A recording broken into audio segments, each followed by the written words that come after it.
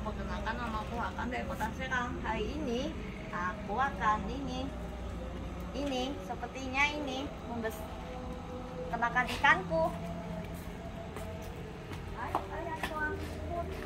Wow, ada ikan emas. Ada juga nila. Nilanya sekarang bisa besar, jumlahnya dua. Kita, kita akan cari tahu untuk cara pembesaran ikan. Caranya kasih makan. Tuh, dia kan mau makan kan?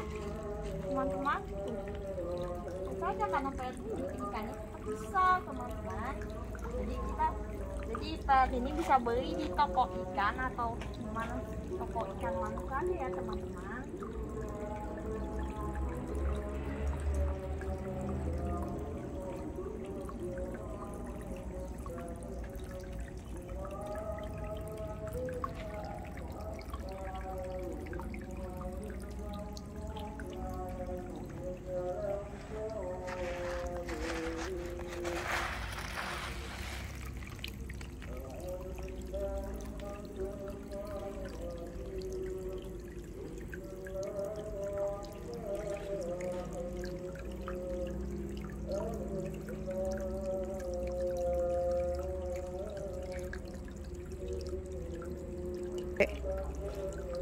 Ikanku sekarang mau cepat besar mau besar besar ikanku teman-teman.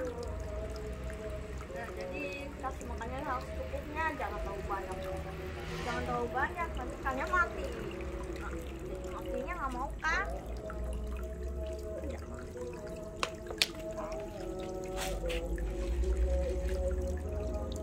nah jadi aku nyalain lampunya.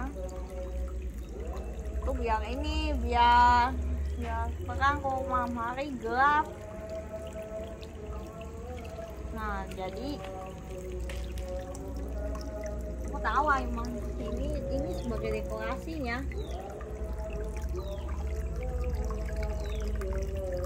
Tuh dekorasinya. Dekorasi dekorasi ikan teman-teman. Nah, itu untuk dekorasi juga sama saja.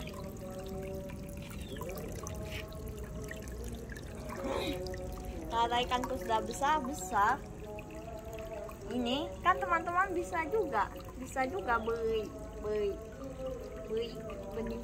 Nila di toko toko mana saja dan di toko mana saja toko mana saja toko ikan sepertinya.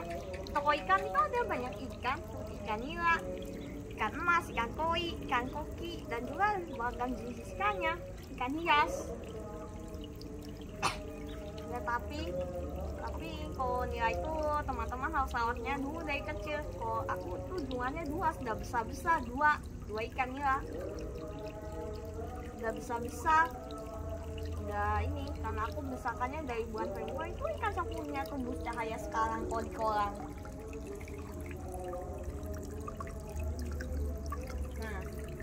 ini makanya kalau cara buat ikan tuh cepat besar kasih makan terus tiap hari.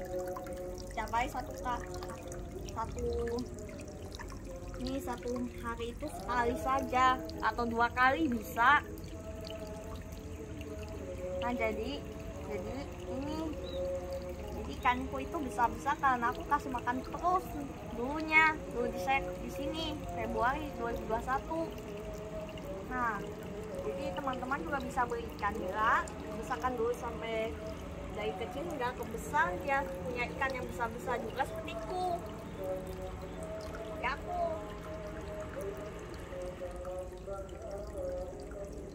Jadi, jadi itu dulu ya. Jadi kan ikan itu besarnya butuh waktu-waktu atau berbulan-bulan pertumbuhannya.